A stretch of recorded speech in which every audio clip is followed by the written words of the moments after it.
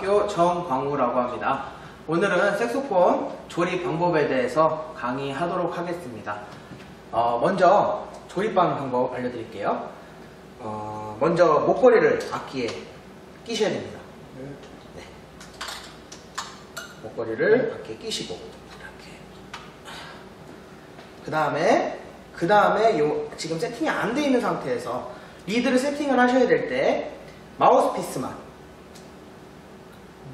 음, 다 세팅이 해놨는데 아, 요 마우스 피스를 먼저 여기다 끼시고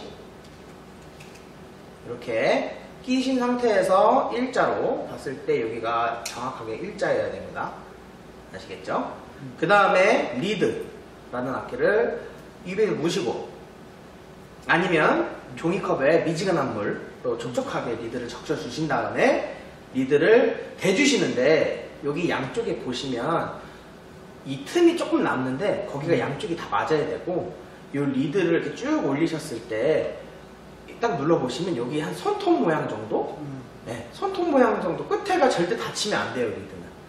그래서 최대한 해가지고 딱 눌렀을 때 손톱 모양 정도 손톱 모양 정도 조금 틈이 나올 때까지만 딱 해놓고 얘로 조여주시는데 얘 이름이 뭐냐면 ligature예요 ligature ligature가 뭐냐면 쉽게 얘기해서 마우스피스랑 리드를 이렇게 조여주는 그런 역할을 해주는 친구죠 그래서 저는 어, 골드스틴이라는 ligature를 쓰시는데 쓰시는 ligature로 이렇게 해서 마우스피스와 리드를 세팅을 해주십니다 되셨나요?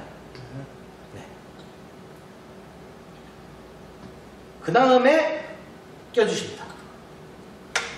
네.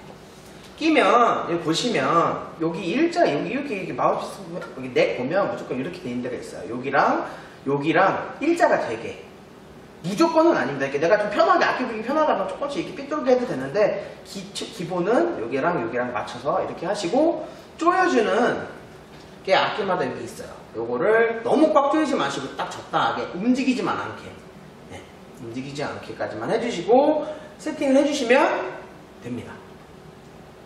끝. 네.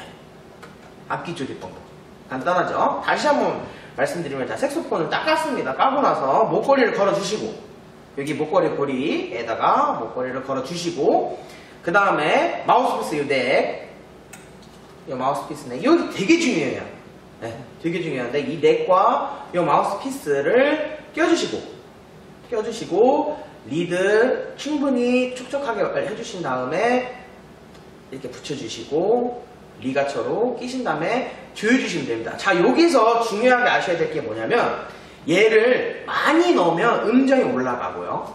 얘가 너무 빼면 음정이 낮아져요. 그래서 보통 요 정도 모든 악기에 따라 조금 다 다른데 이건 튜닝을 하셔가지고 맞추셔야 되지만 보통 요 정도 을 꼭 껴주셔야 됩니다. 이 정도 껴주신 상태에서 이게 좀 뻑뻑하고 그래도 좀 껴주셔야 돼요.